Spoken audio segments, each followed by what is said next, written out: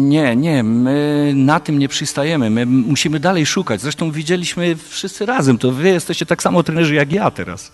Nie? Widzimy, że największe problemy y, to jest y, w defensywie.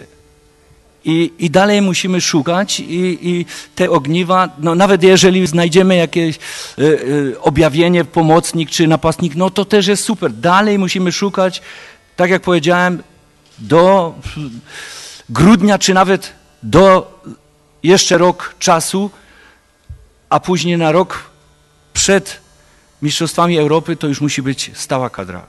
Ta już musi być polerowana no, do, do końca.